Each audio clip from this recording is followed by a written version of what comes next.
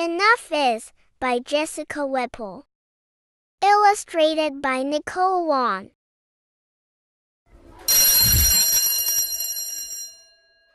Somewhere between a little and a lot, there is enough. It might be hard to spot, but it's always there. Sometimes you have to squint to see enough past new and better, looking so bright and shiny. Enough is hard to recognize. Hearing it is even harder. More is so loud and pushy. And most beats down your door. But enough whispers. I have all I need. The first time you try on enough, it can feel like a sweater that's a bit too small.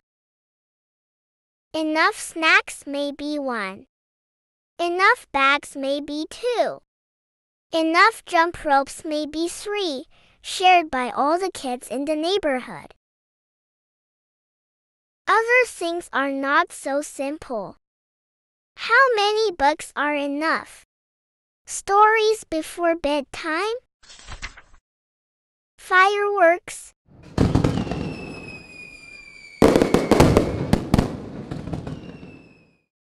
Promises?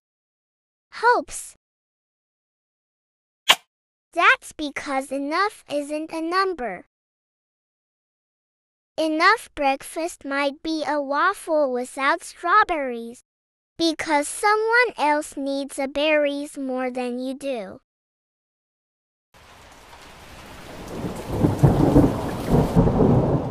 Enough shelter might be the backpack you hold over your head when you forget your umbrella.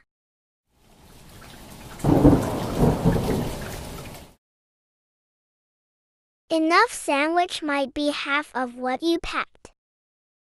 Sometimes enough means saying to yourself, I don't want to, but I'm gonna share this anyway. Or saying to someone else, Here, it's your turn now. When you have enough, it's okay that someone else has more. More bubbles.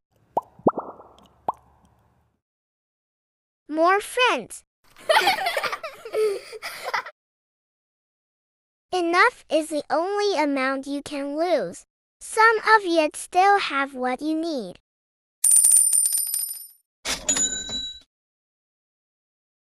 Because a bouquet is still a bouquet. Even after you've dropped some flowers. And when you find enough, it's easy to share.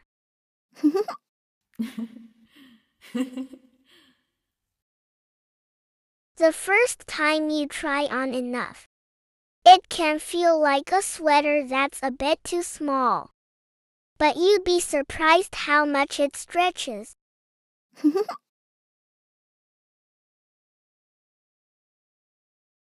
Reading